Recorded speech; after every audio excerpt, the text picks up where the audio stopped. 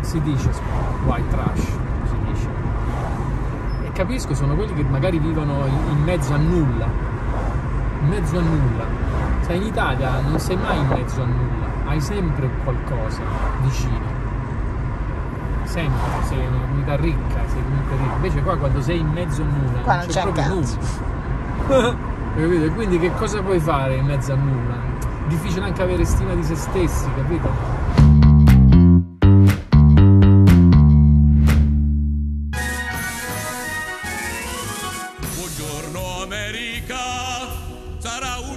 Giornata stratosferica. Il sole nel cielo sorride perché rende omaggio alla razza americana che in me. Da qui all'eternità. Buongiorno America! Buongiorno America. In questa puntata di Insider siamo a Cartersville, nel southeast degli Stati Uniti d'America, una zona terra di nessuno, come potete vedere. E mi torna in mente eh, una massima di Sam Walton che dice eh, esiste un solo capo in un'azienda ed è il consumatore. Lui può licenziare tutti, compreso il presidente, gli basta andare a spendere i suoi soldi altrove. Ed è la massima sulla quale ha costruito il suo successo, che è eh, quello dove stiamo entrando, il posto più incredibile degli Stati Uniti d'America, che meglio rappresenta la cultura, diciamo, di bassa qualità, Assolut- che è Walmart. Assolutamente.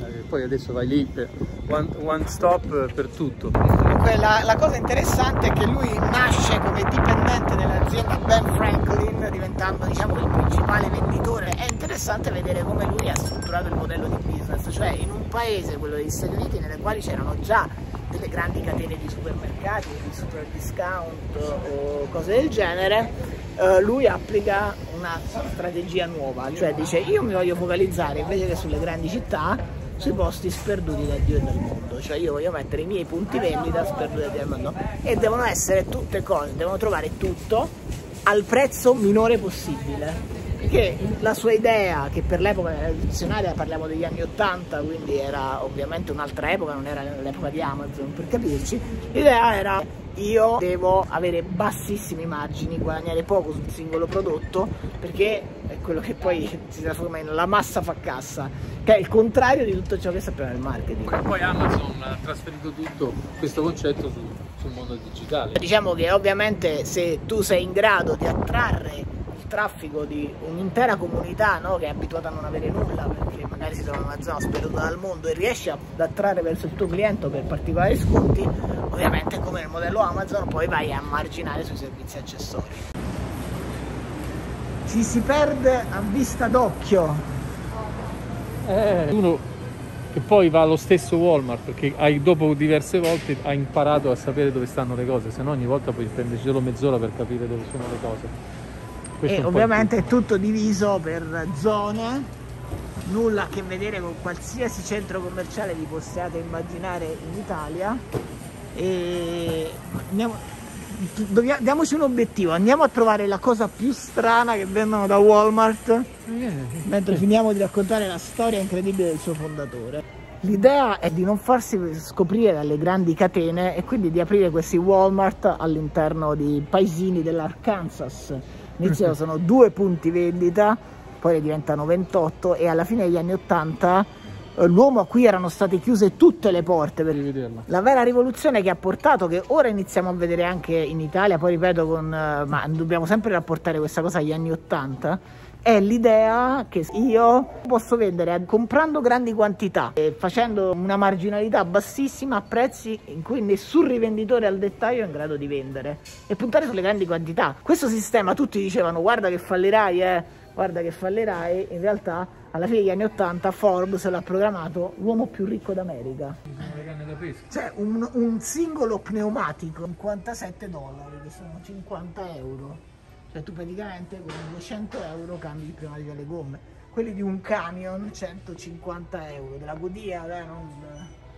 Ecco. eh. La gioielleria. E per esempio ci sono degli anelli di matrimonio, di fidanzamento da 48 dollari. Sono un po' di tutte le tasche, però è ovvio che tu già a 48 dollari puoi chiedere alla tua futura sposa di sposarla. Magari puoi anche chiedergli la mano qui a Walmart.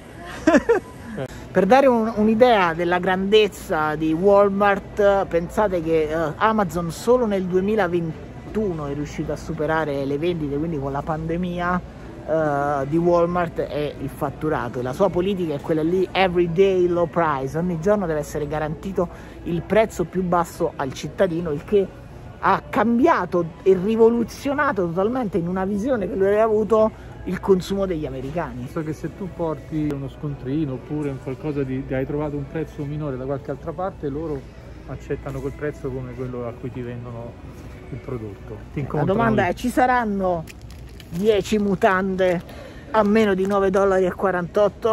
Vedi low price, c'è scritto un po' dappertutto il prezzo e- e più da qua basso. Pensate che ogni giorno, no, circa 7500 camion e autisti sono impiegati da Walmart per il trasporto dei prodotti Gra, gra, grandi magazzini, per grandi e per piccini, prendi al volo l'occasione. Qui sarà Coca-Cola a chilometro zero. La Coca-Cola a Georgia a chilometro zero, un prodotto artigianale. Questo qua, 24 Coca-Cola, 24 can. 24 lattine Coca-Cola a 9 dollari, meno di 10 centesimi, 15 centesimi a Coca-Cola. Dal contadino al... dai. Queste le compriamo, sono le liquirizie alla fragola, fondamentali per... Tra l'altro i pacchi sono sempre enormi. Tutta roba naturale. queste enorme fragole della Georgia. Attenzione al cliente, possiamo dire l'orientamento al cliente, il fatto di voler aumentare la missione sociale del fondatore, comunque era l'idea di aumentare il potere di acquisto degli americani.